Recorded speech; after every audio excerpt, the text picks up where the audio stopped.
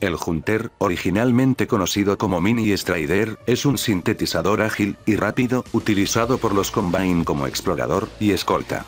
El cazador se ve por primera vez en el mensaje de Mossman en Half-Life 2, episodio 1, pero no se lo encuentra directamente hasta el episodio 2, donde es un enemigo prominente y un mini jefe. El cuerpo y las piernas del Hunter están parcialmente encerrados en un caparazón azul verdoso. El sintetizador es tripedal, muy parecido al Strider. Tiene tres piernas musculosas unidas a los lados y la parte posterior de su cuerpo, que terminan en un par de púas extremadamente afiladas. En el lado izquierdo del cuerpo del cazador están lo que parecen ser tres ojos compuestos, y un par de lanzadores de flechetes alineados verticalmente se encuentran en el frente del sintetizador. Ubicadas directamente debajo de los lanzadores, hay dos extremidades pequeñas con punta de cuchillas de metal para atravesar objetivos, detrás de ellas y en la parte posterior hay dos orificios de forma ovalada. También hay un cuerpo similar a un órgano ubicado en el área posterior derecha de la parte posterior del cazador. Los cazadores tienen una pesada armadura de color azul en sus cuerpos y reciben menos daño de la mayoría de las formas de armas de fuego pequeñas. También son altamente móviles, capaces de moverse fácilmente fuera del camino de los proyectiles. Como todos los sintetizadores, los cazadores poseen una serie de vocalizaciones, todas ellas agudas, feroces y ligeramente electrónicas.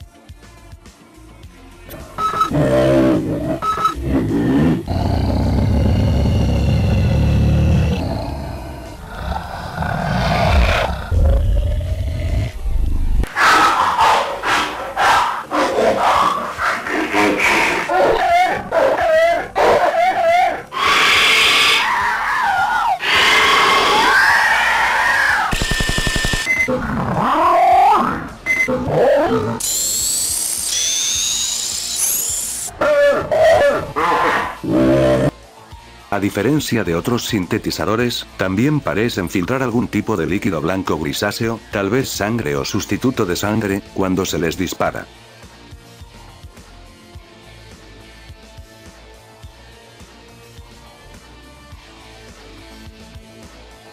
Se podría argumentar si los cazadores son sintetizadores o cyborgs como los soldados Overwatch, debido a su vulnerabilidad a los disparos, y parecen poseer una armadura integrada en lugar de un cuerpo de metal completo.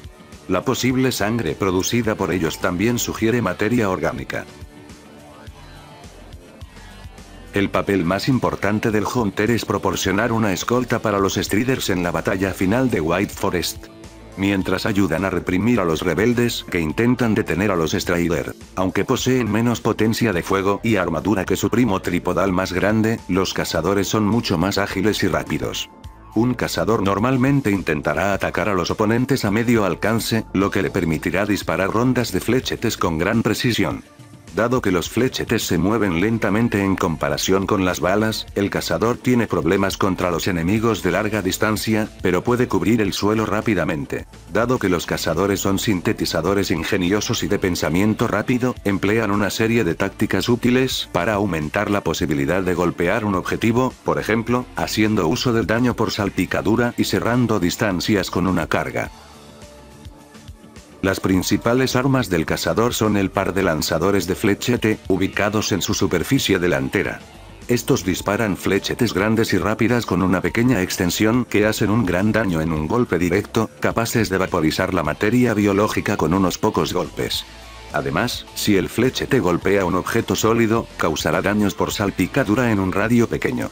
Los flechetes solo se hacen más peligrosas con las tácticas de disparo del cazador. En combate cuerpo a cuerpo, el cazador también puede usar su cuerpo como un carnero para derribar paredes, puertas o enemigos vulnerables. Sin embargo, si falla y se topa con un objeto irrompible, el cazador quedará aturdido temporalmente por el impacto. Finalmente, si el enemigo está al alcance y el cazador no está cargando, usará las garras en sus piernas para cortar al oponente. Se ha visto al cazador usando sus dos extremidades delanteras para empalar a un objetivo, especialmente cuando ataca a Lix al comienzo del episodio 2.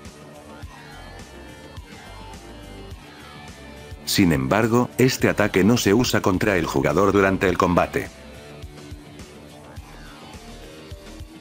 Si bien los cazadores son bastante resistentes a los disparos, son considerablemente más vulnerables a las fuerzas contundentes y explosivas. Al menos dos golpes bien dirigidos, dependiendo de la dificultad, de un objeto lanzado por la Gravity Gun, como una llanta de tractor o un cañón, son suficientes para matar a uno. Si una de sus flechetes se adhiere a lo que esté sosteniendo la Gravity Gun, el flechete hará que el cazador se vaporice al contacto. Por lo general, los lugares donde se combate el Hunter a menudo presentan numerosos barriles explosivos que son efectivos contra ellos. De lo contrario, los cazadores pueden ser derribados con las granadas de la resistencia RPG o MP7.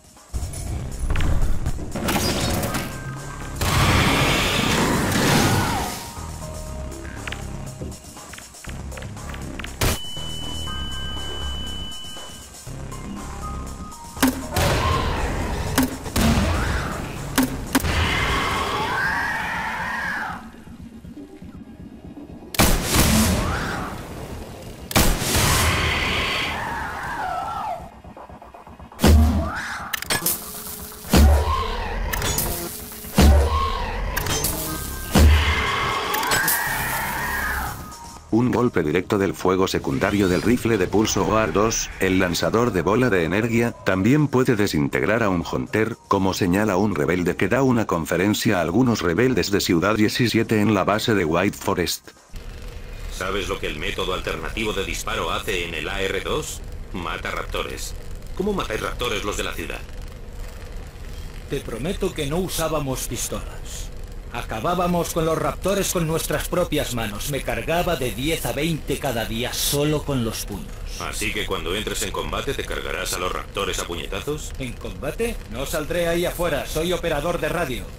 Si no hay disponibles explosivos o el fuego secundario del rifle de pulso Overwatch, también se pueden usar armas de fuego como la escopeta o la Magnum. 5 o 6 disparos a quemarropa desde el disparo secundario de la escopeta deberían ser suficientes para matar a uno, aunque esta no es una táctica efectiva, ya que consume grandes cantidades de munición muy rápidamente y requiere que el jugador deje de luchar momentáneamente para recargar. Otra arma efectiva contra los cazadores es la ballesta de resistencia, que puede matar a un cazador en 3 o 4 disparos.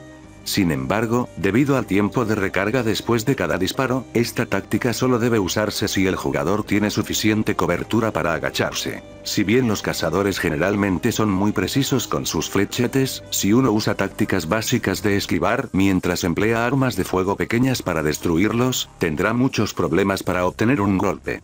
Sin embargo, si se mueve de manera predecible, o no se mueve, un cazador matará rápidamente al jugador, ya que las flechetes causan una gran cantidad de daño con un golpe directo. Mientras el jugador se esconde en un espacio pequeño, los cazadores intentarán disparar barriles explosivos cercanos para eliminar al jugador de forma similar a un francotirador Overwatch. Los cazadores siempre se centrarán en el jugador en lugar de Alix u otros NPC si el jugador está a la vista del cazador. No se recomienda el combate cuerpo a cuerpo con un cazador, ya que pueden cargar y golpear con sus extremidades de puñas. No se recomienda usar un dispositivo Magnuson contra un Strider hasta que todos los cazadores cercanos hayan sido derrotados, ya que dispararán al dispositivo tan pronto como lo vean. Aunque es posible que el jugador mire lejos de los cazadores y lo lance rápidamente al Strider, disparándole antes de que lo hagan los cazadores.